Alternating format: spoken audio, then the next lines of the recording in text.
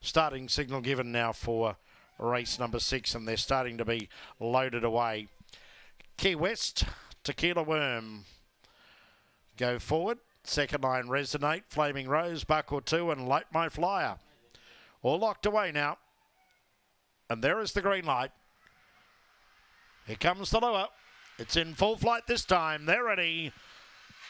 Away now, fast away, Resonate Box 2 together with Tequila Worm, Flaming Rose. Behind them was Key West. Going forward out wide, Buck or 2, check Tequila Worm. And last of all, Light My Flyer down the back, Flaming Rose leads by 3. Over Buck or 2, going into third, Resonate, followed by Key West, Tequila Worm and Light My Flyer. Flaming Rose travelling strongly around the bend. Clear over Buck or 2 and then Resonate. In front, Flaming Rose tiring, but she'll hang on and Flaming Rose beat Resonate.